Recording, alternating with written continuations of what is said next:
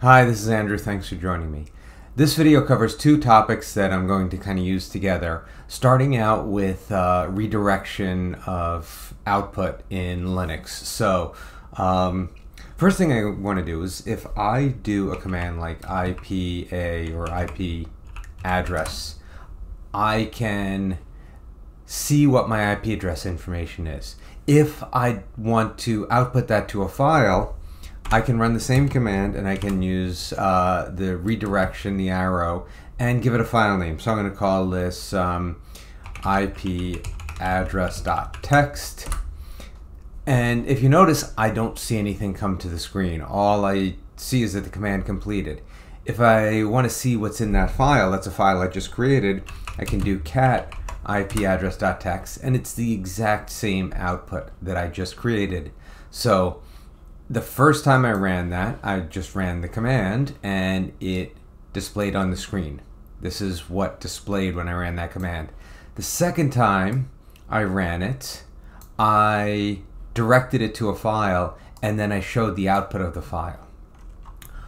Might not seem that useful in this case, but what if I wanted to save this information for future use? I can save it to a file. If I were to change the IP address now, um, it would and I ran the command, it would show the new IP address. But I could always have this as a reference. I could give it a give the file a different name. I could give it a different uh, a name based on the date.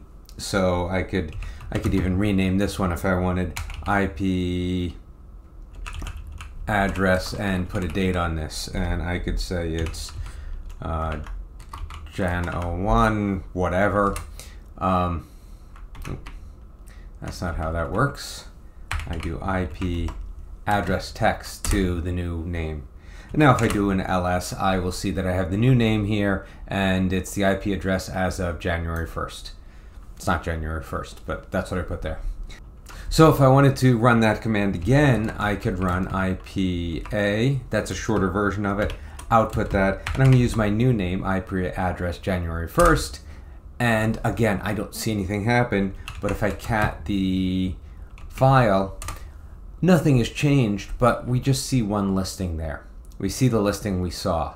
What if I wanted to add to that file every time? What if I wanted to say IP address.txt is, or IP address gen 01 are all of the addresses. I'll run this command every day to get an address every day. And I want to just keep adding to this one file.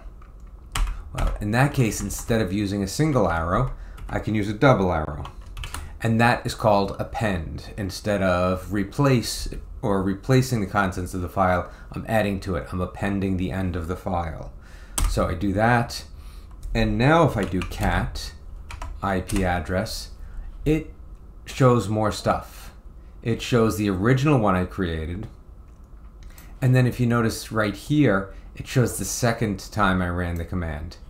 And if I want the file to be really long I can just keep I can do that and that and that and that and that. And now if I do, instead of cat, I'm going to do less just so we can see it a little bit easier because it's a fairly long file at this point. And I can just keep scrolling down and you see that it just repeats and repeats. I'm putting the same information in there, so it's not that valuable, but just being aware that you can append the end of a file and maybe it would be valuable. Maybe I'd put something in there, maybe a date separator or something. So if I wanted to, let's uh, Q to get out of there, I could say date, and date will just show me today's date, which is actually not, as I said, not January 1st. So I'm going to do date, and I'm going to put that at the end of the IP address. And then I'll do another, uh, let's see, another IPA. And if I do less on the file, and I go down to the bottom of it, we can see where I ran the date right here, and then I ran the command again. So it just keeps adding to it and adding to it. And that can be really, really useful depending on what we're doing. So um, just to restate, now if I go back to my original command that I ran, right there where I have a single arrow, IPA single arrow, and I run it, and then I do less on the on the file, everything's gone. It will overwrite everything because that's the way the single arrow works. So which one you want to use really depends on what you're trying to do. There's nothing to scroll around here. So if I just wanted to write it once, that's fine. Um, I might want to see what the listing is of a directory. I might want to ls-la on etc and then I want to put that into a file. And then I'm going to grab that file and do something with it. File, file list. And then I can look at cat file list. Control. Uh, get out of that. Let's try that again without the typo. Now I have this file list that has that directory listing. And I can go in and I can look at it. I can open it up in another file. I can do whatever I want with this. This is not a real directory listing. This is the directory listing that was put into the file. So I have this to work with. If I want to get a daily update to the file and maybe every week I want to archive it, I can then, I could do the, I could do this and again I can use the double arrow. So anything I can put to the screen I can redirect either to a file. Now if there's an error message, um, with this, with the arrows, if I were to say, remove a space and it's going to produce an error, it puts the error onto the screen. It doesn't put it into the file. And there are other options that will put it into the file. There are options that will display both. Let's say I wanted to do something and I wanted to dis display both to the screen. So ls-la, and let's say I wanted to uh, do a directory usr bin and I want to actually view the file, view the output, but also put it into a file. And I'm going to do um, a pipe, which is the vertical line, and the tee command. And then I can put that into new file list. Now I saw everything on the screen. Now if I go back and cat new file list, I see exactly the same thing. I see on the screen, uh, I see in the file what I saw on the screen. It's a big long file, so there's a lot of stuff to look at, but it was just a repeat of what was in the file. And we can do a lot of other things here. We could append this if we wanted to. Uh, there's a lot a lot of redirection options we can do. One place this is really handy, I've used it with uh, copying files, so I can both see the progress of a large co file copy, but also store the results to make sure I have um, a record of what got copied. Um, let's say I wanted to install something. Uh, I'm going to do apt get install, and I'm going to install a program called John. And I can't really tell you what that is um, because Google got mad at me for sharing information about that. I'll tell my students another time, but rest of YouTube, sorry. So I'm going to do installed results and possibly spell part of it correct, .txt. Uh, so now I need to put in my password because I used sudo. And now it's actually going through and trying to do an install. I'll do a yes on that and I see the progress of the install. I can see that, yeah, it's making progress and it's installing stuff.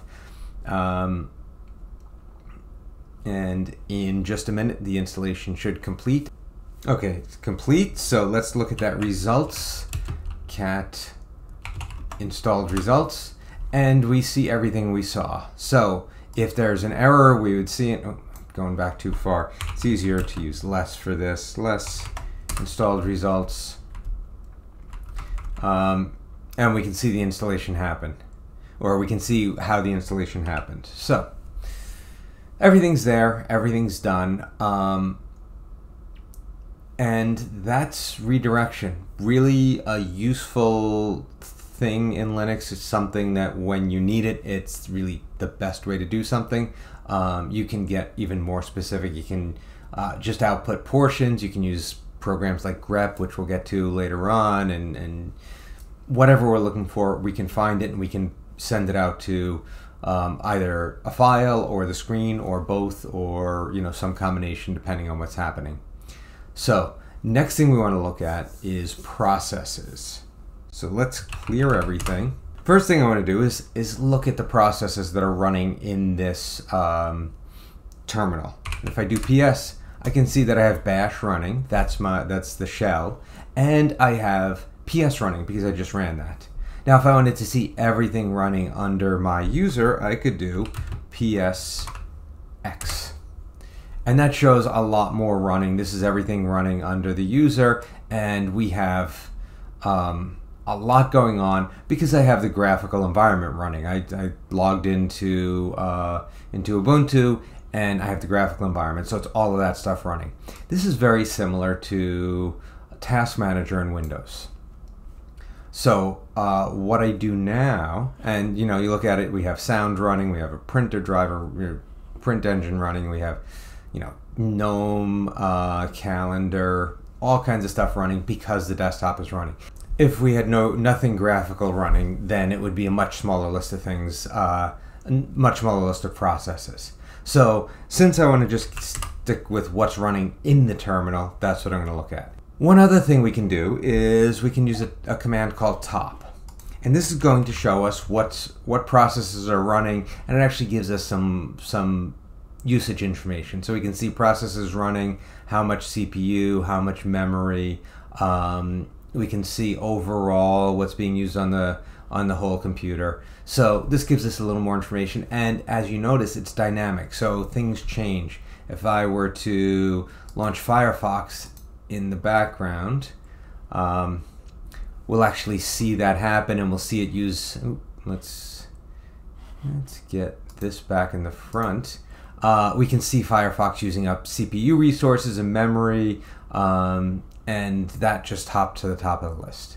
So I can get rid of that right now, and we are back to um, where it was. It's you can note you notice Firefox took a little time to close. So top will show us a lot of information as well. If I want to get out of top, I can do Q, and that gets out of top. I also could do, uh, see, I'm back in top. I can do Control C. That'll cancel it and get us out. So that's how we look at processes, or that's one way we can look at processes. So let's say I have a process running in the in by terminal. Uh, I can do something like I'm going to ping prof a, and it it's in the host file to localhost. So just pinging myself. Um, I can't really do anything. Now I'm going to combine it with something I did before. So I'm going to stop. I'm going to do ping a ping prof a, and I'm going to redirect that and append it to a file. And I'll call it ping out. And now it's running. But I can't do anything. I have uh, this flashing cursor. I can type things. I can try to quit. I can do anything. I could control C, but that stops my ping. Maybe I don't want to stop my ping. What I can do is actually I can do control Z, and that will pause things. So it says stopped, but it's actually just paused. I can resume that because I can do BG. When I do BG, it moves that process to the background. If I do PS now, I will see that I have a ping running on in this terminal. Um, I can do jobs and I can see that that ping is running. If I do ls-la on ping out, I see that I can see the size of that ping. If I repeat that command, I can see that a few seconds later, it is bigger. And a few seconds after that, it's, it's bigger. So this file is getting bigger. The file is getting more results added to it. And if you remember what the ping command looks like, it just, it's, this is what's going into the file. These lines again and again and again. Um, so, and there's another one where it's bigger. So this ping is still running. I've moved it to the background. I can type commands. I can clear stuff. I can do stuff. I can, you know, I can do whatever I want in the terminal. Uh, if I want to bring it back to the foreground, all I need to know is what job number it is. And in this case, it's the only one running in the background, so it's one. So if I want to bring it to the foreground again, where it was up here, I just do FG1. Now I have this command back in the foreground. And if I were to look at it, I could open another window, but it's still continuing the ping, it's still continuing to grow. So if I want to stop that, the way you stop a ping is Control C. Now I'm back here. I can repeat that ls ping out and you can see that just the time I was talking, it got a lot bigger. So it, it can be really helpful to move uh, tasks to foreground and background when you need to do things, you're in the middle typing something. So let's say I wanted to um, not cancel a process, but I needed to, I just, I, I need, I can't do it with control C for whatever reason, or it's something running that, that won't respond to that, or I, I need to just kill the process. We saw that when I do PSX, there's a lot of stuff running. Something hangs and is not responding. Something's there's some problem somewhere, and I need to uh, kill a process. Again, like Task Manager in Windows, if I want to end a process, I can use the kill command. But first, let's create a process for me to kill. I will do the ping prof a, direct that to ping 2, and now it's running, and I will do Control Z and pause it, and then do BG, move it to the background. And if we want to see the uh, status of the file, I'll do this, and um, LSLA on ping 2 we can see it's 960 right now, and I run it again, it's 1158. So it, it's growing as expected. Now let's say I want to just kill a process. I don't want to bring it to foreground, whatever. I can't bring it to the foreground. Something's going on. I need to just kill a process. What I need is this process ID. In this case, 3777. So I'm going to do kill dash 9 3777. I hit enter and I'll give it another enter and it'll say, hey, that, that process got killed. If I do PS again, I don't have that ping running anymore. If I do ls dash la on ping 2, it's 2874. And if I repeat the command, it's still 2874. The ping uh, command got killed and it's not running anymore, so now that file is no longer getting bigger. Uh, so that's killing a process. And we can kill other processes and I can make if I look at PSX um, I could kill any of these processes and potentially make the system unstable. Uh, if I needed to kill one of these processes it's likely it would be unstable to begin with. If I wanted to um, PS and I could kill da dash 9 my bash shell 1865 and there goes my terminal. It just died because I killed the shell. So uh, if I want it back, I just have to launch a new terminal. There any seconds now. Now I have a new terminal. If I look, I knew I have new processes running in this terminal. So that's two topics that I kind of use together: redirection and and processes. That's how they work. Um, obviously, we can go a lot deeper into both of them. This is just an initial explanation of, of how they work and what you can do with them. So, that's all I have for you today. Thanks for watching.